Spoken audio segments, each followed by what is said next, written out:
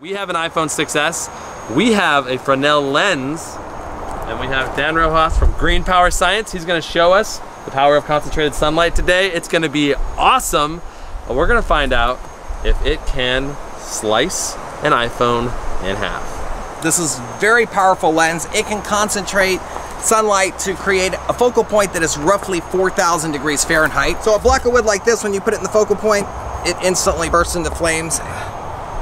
Can draw with it. How long do you think it'll take of holding it on a single point for it to actually melt? So Maybe 30 seconds, that phone will be in two pieces. Really? Yeah. R- I would That's be, just a guess. That, I would be everything goes perfect. amazed if it did that. I am really eager to find out if it will actually be cut in half. So this is a non-functional iPhone 6s, uh, but it looks good. You want to see if we can burn a hole through the middle? Yeah, I think And we then can, and then we'll go up and down a little bit and We see got- if we get. a few clouds to deal with, but once they clear, we'll be good to go. Okay, let's do this. It's gonna be freaking epic. Let's get started. Yes. job. All right. Right. let me- Okay, he was reaching for the iPhone, but I can handshake. yes. Are we actually going to completely slice this iPhone into two pieces just using sunlight? Post your opinion in the top right. Here we go. Holy cow.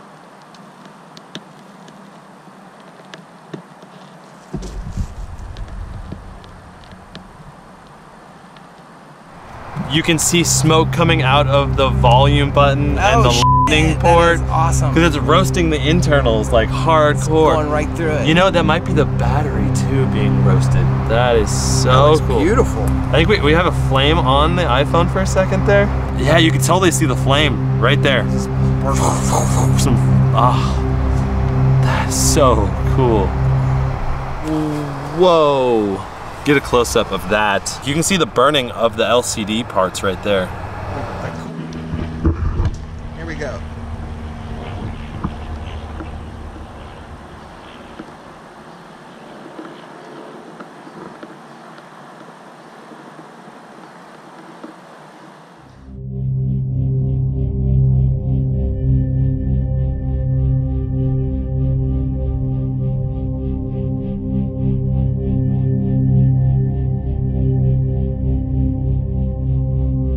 You can see the battery expanding.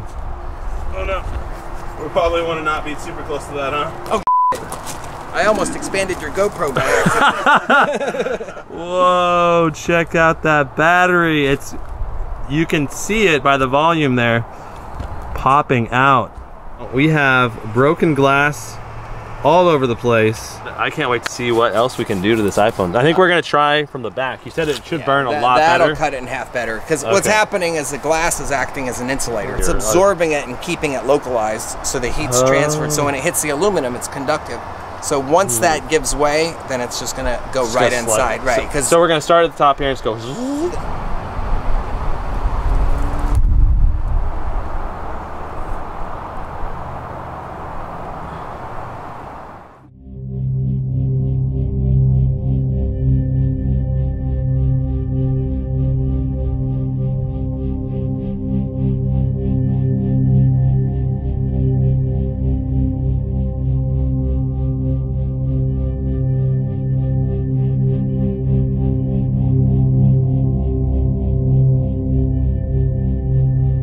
The Apple logo turned blue? Like if you look at it close up. Oh, that is so cool. So when you do that, once metal does that, then, then it gives up its reflective property, and then you can definitely, and you can do it in.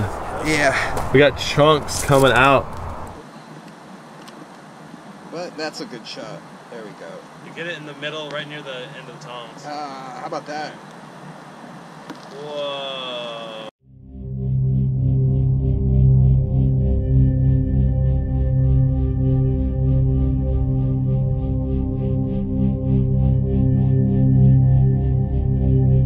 Out here.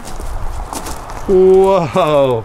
We've got the glass just completely coming apart now. It, it was literally just all in flames just a moment ago. It looks like it was blowing black smoke out of the Apple mouth.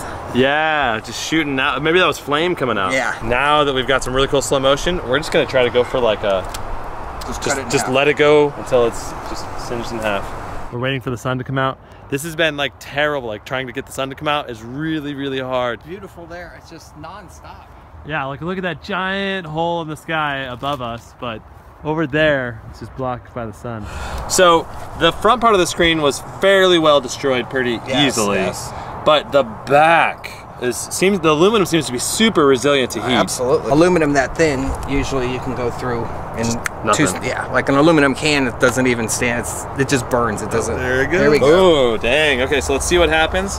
We'll probably have a good minute of sunlight. So Looks like it's creating a little hole. You see that?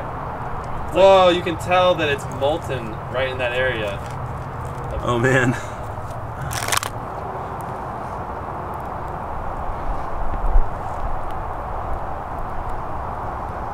Yeah, see the metal's still good under there. That's just soot. That's amazing. Holy You okay? Yep. Hold on. Oh, buddy. Oh, now. Darren got burnt. Oh my god. that burns in my jeans. Jeez. Ah, that's Ouch. so funny. Are you Um, okay? You want something cold? It hurt. It hurts for sure. I guess a precautionary measure when you're jumping around all these Fresnel lenses. Try not to jump in front of them, in front of the focal point. So having them turned down is probably a wise idea. I'm gonna, I'm gonna do that right now. Wow, look at this hole we put through it. I'm actually very impressed. But it, we made it through the initial layers of the screen. Some of the looks like some of the motherboard. Uh, it just didn't go all the way through the aluminum. The aluminum seems to be extremely resilient to heat. I've gone through uh, steel that's um, 16th of an inch with that lens. Whatever reasons, that is like very, Very resistant. very resistant. so, surprisingly, 4,000 degrees, not able to And slice we even had a um, an area where you had wanna a dark spot. Yeah, like right there, and it just just turned out to be soot. Yeah, you can tell the metal is deformed just a little bit right here where we focused it, but even that is just nothing. Shout out to Dan Rojas from Green Power Science. It was so awesome coming out and checking out the power of concentrated sunlight.